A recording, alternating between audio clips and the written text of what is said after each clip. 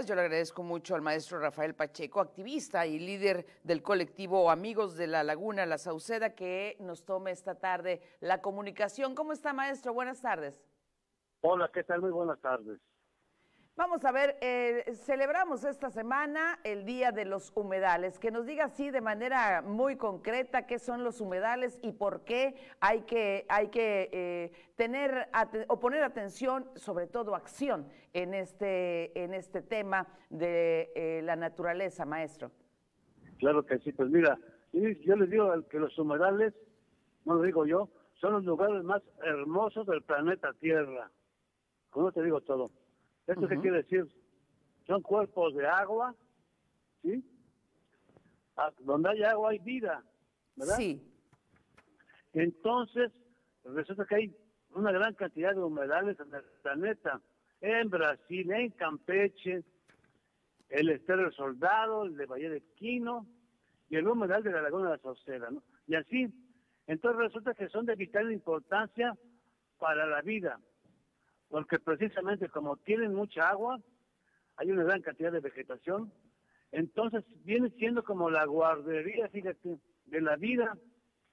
Ahí se dan cita las aves, se dan cita los peces, los mamíferos, pero como hay, hay mucho alimento, viene siendo como un ecosistema, les decimos nosotros, como una área en donde predomina el agua y la vida.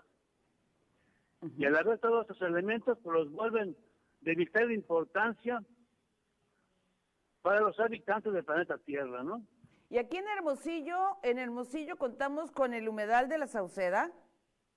Sí, fíjate que yo le puse el oasis de Hermosillo porque es un lugar realmente impresionante. Yo soy ingeniero geólogo. Entonces, el origen del humedal es lo que quedó del río Sonora cuando Hermosillo se formó por el río Sonora, ¿no? Sí. El río San Miguel.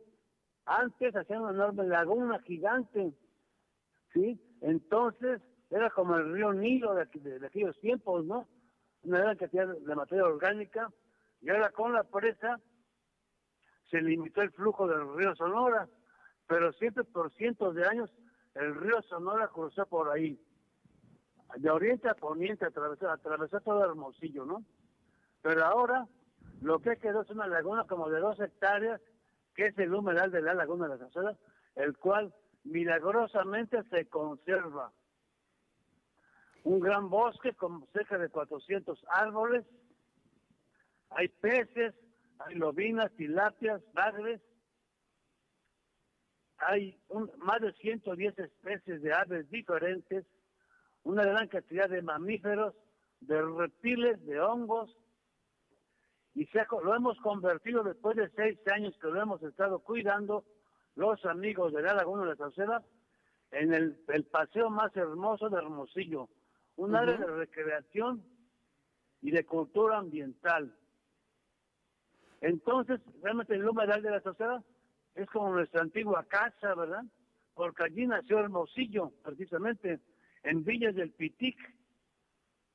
Sí. Entonces, pues con mucho gusto vamos a celebrar el Día Mundial de los Humedales el próximo sábado.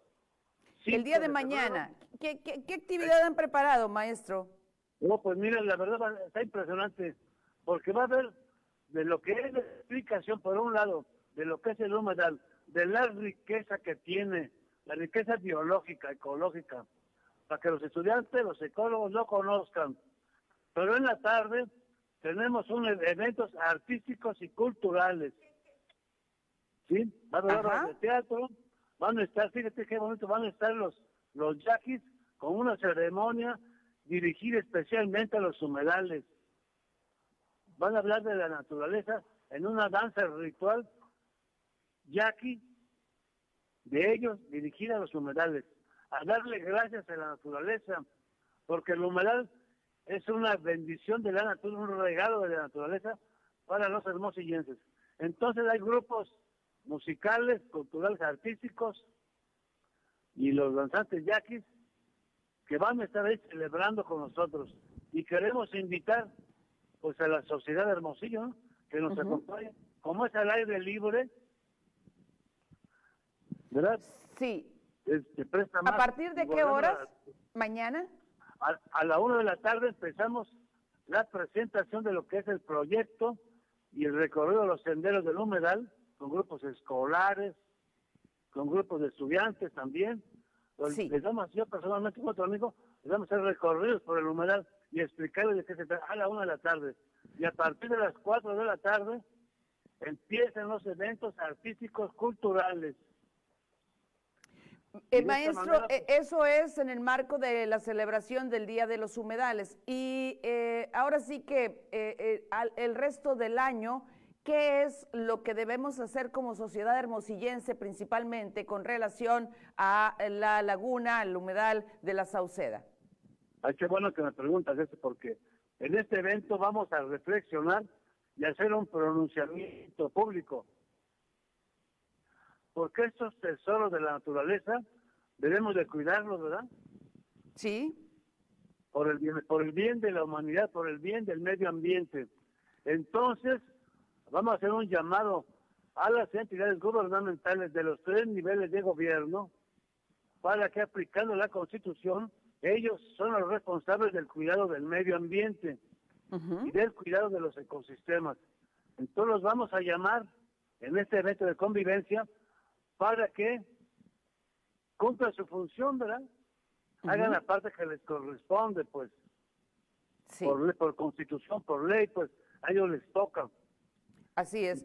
¿Tienen, ¿Tienen ustedes presencia en redes sociales? ¿Cómo puede enterarse el auditorio de las actividades que programan? En fin, coordinarse con ustedes eh, los eh, eh, liderazgos de este... De este claro que sí, pues mira, tenemos un Facebook que se llama Amigos de la Laguna de la Sauceda. Sí.